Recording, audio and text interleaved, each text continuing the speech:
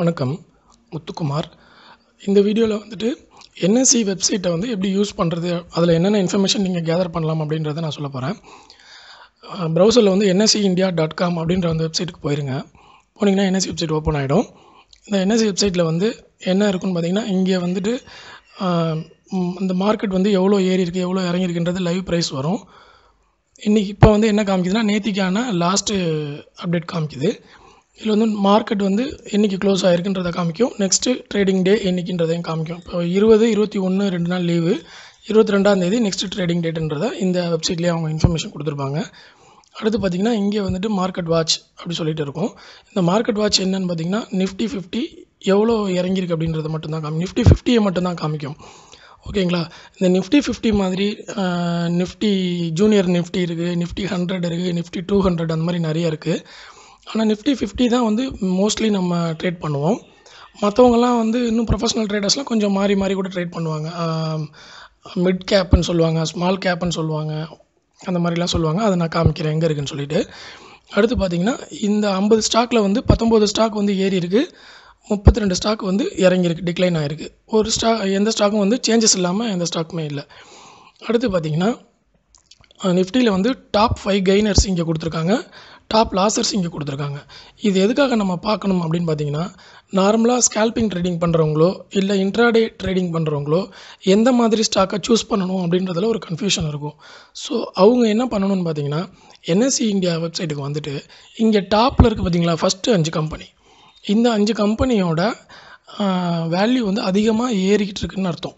So இந்த ஸ்டாக்கில் நீங்கள் ஏதாச்சும் ஒரு ஸ்டாக்கை நீங்கள் செலக்ட் பண்ணிங்கன்னா உங்களுக்கு வந்து ப்ராஃபிட் எடுக்கிறதுக்கான வாய்ப்பு. இப்போ த்ரீ பர்சன்ட் இருக்கிற ஐடிசி வந்து அடுத்து ஃபோர் பர்சன்ட் ஆகலாம். எஸ் பேங்க் வந்து டூ பர்சன்ட் ஏறி இருக்குது ஸோ இன்றைக்கி வந்து இது ஏறுமுகமாக இருக்கிறது. இது வந்து இன்னும் த்ரீ பர்சன்ட் ஆகலாம் ஃபோர் பர்சன்ட் ஆகலாம். ஸோ அந்த கேப்பில் வந்து நீங்கள் உள்ளே போயிட்டு கரெக்டான சிக்னல்ஸ் நான் சொல்லியிருக்கேன் இல்லையா? டெக்னிக்கல் இண்டிகேட்டர் அந்த டெக்னிக்கல் இண்டிகேட்டரையும் இந்த ஸ்டாக்கில் நீங்கள் யூஸ் பண்ணி உங்களுடைய ஒரு ஒன் பர்சன்ட்டோ டூ பர்சன்ட் நீங்கள் ப்ராஃபிட்டை இதில் எடுக்க முடியும். அதே மாதிரி செல்லிங் பண்ணுறவங்களா இருக்காங்க அப்படின்னா இந்த லாசர்ஸில் வந்துட்டு எந்த ஸ்டாக் வந்து மேக்ஸிமம் இறங்கியிருக்கோ அந்த ஸ்டாக்கை செலக்ட் பண்ணி அவங்க செல்லிங்கில் இறங்கலாம். ஓகேங்களா? ஸோ இதை பேஸ் பண்ணி நீங்கள் எந்த ஸ்டாக்கை சூஸ் பண்ணணுன்றதை டெய்லி நீங்கள் டிசைட் பண்ணிக்கலாம். இதில் வந்து வேறு என்னென்ன ஸ்டாக்லாம் வந்து ஏறி இருக்குது அப்படின்னா நீங்கள் வியூ வால் அப்படி கொடுத்தீங்கன்னா எல்லா ஸ்டாக்குமே வந்துடும் இத்தனை ஸ்டாக் ஏறி இருக்குது அப்படி சொல்லிட்டு. இதில் பார்த்தீங்கன்னா லிஸ்ட்டு அதுலேயே காமிக்குது பாருங்கள் Nifty fifty Nifty next fifty stocks அதில் காமிக்குது. அதாவது கெய்னர்ஸ் மட்டும். அடுத்தது இருபது ரூபாய்க்கு கம்மியாக இருக்கிற ஸ்டாக்ஸ்லாம் வந்து அதை காமிக்கும்.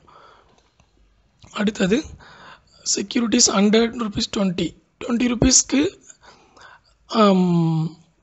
கீழே இருக்கிற ஸ்டாக்ஸ்லாம் வந்து அது காமிக்குது. இருபது ரூபாய்க்கு மேலே இருக்கிற ஸ்டாக் டுவெண்ட்டி ருபீஸ் கீழே இருக்கிற ஸ்டாக் காமிக்குது.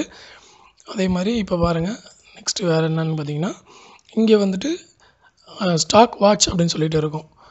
அதே மாதிரி இங்கே வந்து இங்கே ஒரு பட்டன் இருக்கும். இந்த பட்டன் இங்கே பாருங்கள் இங்கே தெரியுது இல்லையா? ஹோம் பட்டன் மாதிரி. இதை நான் கிளிக் பண்ணுறேன் கிளிக் பண்ணணும் ஓப்பன் ஆகிடுச்சு இல்லைங்களா? இப்போ பாருங்கள் இங்கே வந்து நிஃப்டி மார்க்கெட்டில் என்னென்ன இண்டிசைசஸ் இருக்குது அப்படின்னு சொல்லுவாங்க. அதான் இண்டிசைசஸ்னால் நிஃப்டி ஃபிஃப்டின்னு சொல்கிறோம் இல்லையா? அது வந்து ஒரு இண்டிசைஸ் இப்போ வந்து நிஃப்டி ப்ரீ ஓப்பன் இருக்குது நிஃப்டி ஃபிஃப்டி இருக்குது நிஃப்டி நெக்ஸ்ட் ஃபிஃப்டின்னு ஒரு குரூப் இருக்குது நிஃப்டி ஹண்ட்ரட்னு ஒரு குரூப் ஆஃப் நிஃப்டி ஹண்ட்ரட்னா நிஃப்டியில் ஹண்ட்ரட் ஷேர்ஸ் வந்து ஒரு குரூப்பாக இருக்காங்க. அடுத்து நிஃப்டி டூ ஹண்ட்ரட்னா நிஃப்டியில் ஒரு டூ ஹண்ட்ரட் ஷேர்ஸ் வந்து குரூப்பாக இருக்காங்க. அடுத்து Nifty mid cap fifty mid கேப்னா mid கேப்பில் ஒரு ஃபிஃப்டி ஸ்டாக்ஸ் இருக்குது அடுத்து ஸ்மால் கேப்பில் ஹண்ட்ரட் இருக்குது அடுத்து மிட் கேப்பில் ஹண்ட்ரட் இருக்குது ஸோ இந்த மாதிரி செக்டார் வைஸாக பிரித்து வச்சுருப்பாங்க. இது என்னென்ன ஸ்டாக்ஸ் இதில் இருக்குன்றதையும் நான் உங்களுக்கு காமிக்கிறேன்.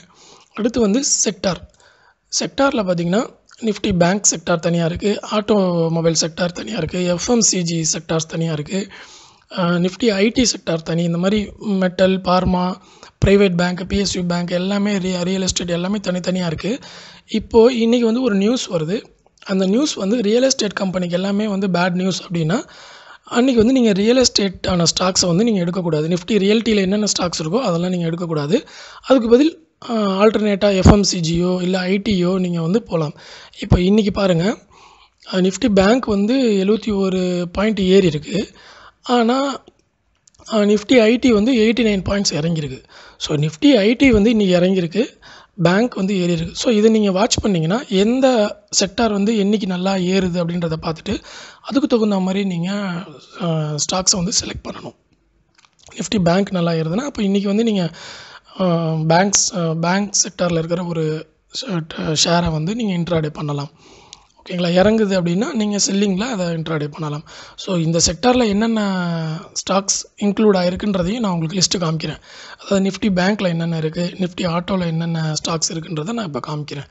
ஓகேங்களா அடுத்து other indices fixed income indices இது இப்போ வேண்டாம். இதில் வந்து நிறைய அவங்க அதர் இண்டிசைஸ்லாம் கொடுத்துருப்பாங்க.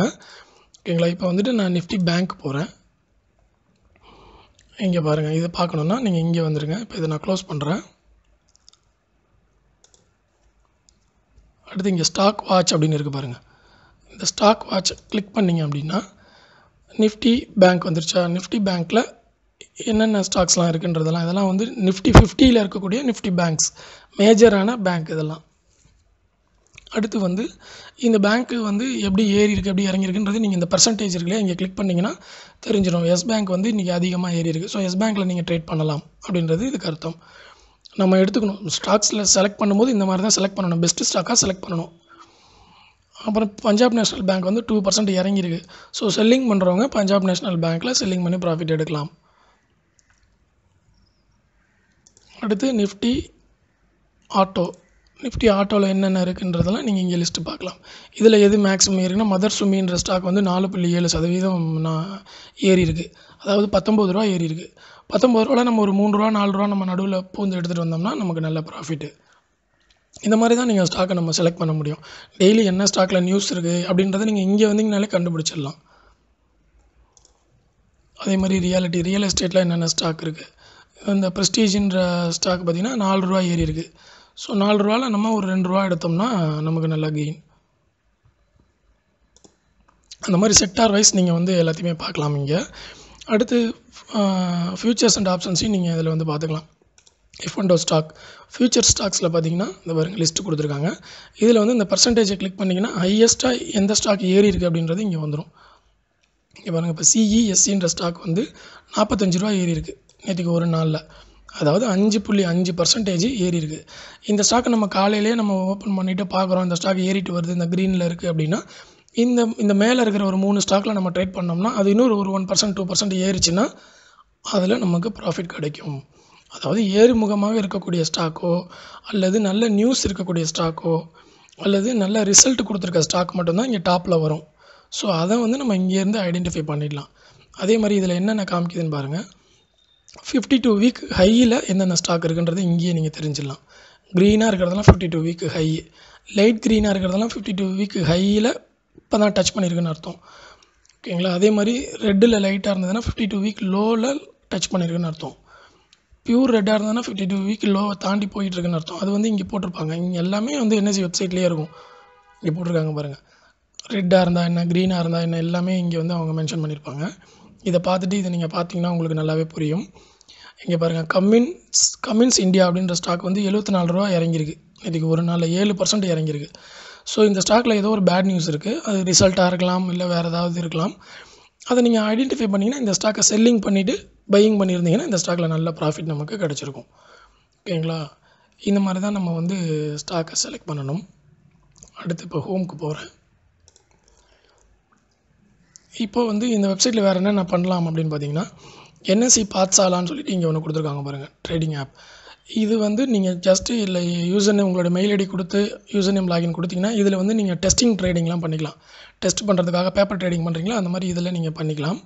இதில் இருக்குது அப்புறம் மணி கண்ட்ரோலில் கூட அதே மாதிரி ஆப்ஷன் இருக்குது அதாவது சும்மா நீங்கள் ட்ரேடிங் பண்ணி பார்க்குறதுக்கு ப காசே இல்லாமல் நீங்கள் ட்ரேடிங் பண்ணி பார்த்துக்கலாம் பையிங் செல்லிங் பண்ணி ஒரு வாரம் வச்சு ப்ராஃபிட் சம்பாதிக்க முடியுதா இல்லைன்றதெல்லாம் நீங்கள் இதில் வந்து டெஸ்ட் பண்ணிக்கலாம்.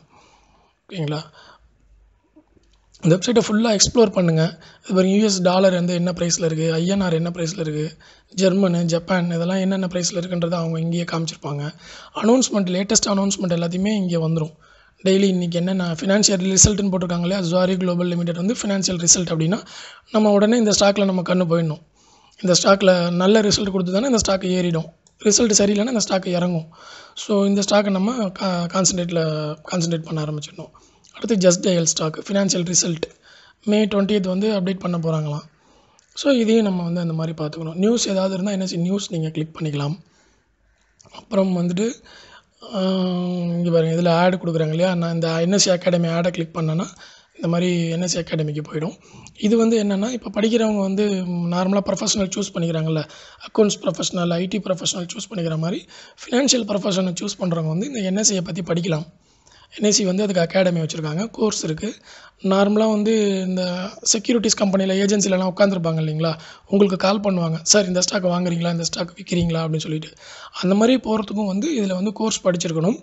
அது வந்து என் என் என்சிஎஃப்எம் சொல்லுவாங்க. அந்த அந்த கோர்ஸ் எல்லாமே இதுலேயே வந்து சொல்லுவாங்க. என்சிஎஃப்எம் அட் என்எஸ்சி டாட் காம்னு இருக்குது பாருங்கள் இந்த கோர்ஸ்லாம் முடிச்சிங்கன்னா அது சர்டிஃபிகேஷன் கொடுப்பாங்க. அதுக்கப்புறம் வந்து நீங்கள் போர்ட்ஃபோலியோ மேனேஜர் இல்லை போர்ட்ஃபோலியோ அனலைசர் அந்த மாதிரிலாம் நீங்கள் வந்து இதுலேயே வந்து சர்டிஃபிகேஷன் இருக்குது அதெல்லாம் முடிச்சுட்டு நீங்கள் வந்து ஜாப் ஜாயின் பண்ணலாம். உங்கள் ப்ரொஃபஷனலையும் இதில் சூஸ் பண்ணலாம். இங்கேயே போட்டிருக்காங்க. Certification in financial market online programme எப்போ எப்போ இருக்குது சொல்லிட்டு. சென்னையில் வந்து எப்போது இது கோர்ஸ் நடக்குதுன்றதையும் நீங்கள் இங்கேயே வந்து பார்த்துக்கலாம். இதுலேயே வந்து போட்டிருப்பாங்க. இந்த டோல் ஃப்ரீ நம்பரை கால் பண்ணிங்கன்னா சென்னையில் எங்கே கோர்ஸ் நடக்குது? எப்போ நடக்குது போட்டிருக்காங்க பாருங்கள் சென்னையோட காண்டாக்ட் நம்பர் இந்த இடத்துக்கு கால் பண்ணிங்கன்னா நீங்கள் ரிஜிஸ்டர் பண்ணிவிட்டு நீங்கள் வந்து கோர்ஸ் முடிச்சுக்கலாம். ஸோ ப்ரொஃபஷ்னலாக இந்த இந்த ஃபீல்டை நீங்கள் சூஸ் பண்ணிக்கலாம். அது வந்து ரொம்ப யூஸ்ஃபுல்லாக இருக்கும்.